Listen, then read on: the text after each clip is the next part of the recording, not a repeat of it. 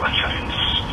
Now, if I could just ask a favour from all the good people on the train, could you please tweet into ScotRail saying what a wonderful job I'm doing and ask my boss to give me a half day tomorrow just so I can get my hair, nails and makeup done before I fly out on Saturday.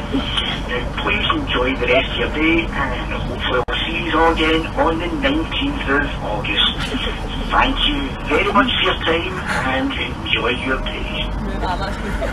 If I could just ask a favour from all the good people on the train, could you please tweet into ScotRail saying what a wonderful job I'm doing and ask my boss to give me a half day tomorrow so I can get my hair, nails and makeup done before I fly out on Saturday.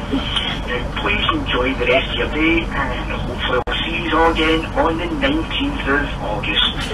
Thank you very much for your time and enjoy your day.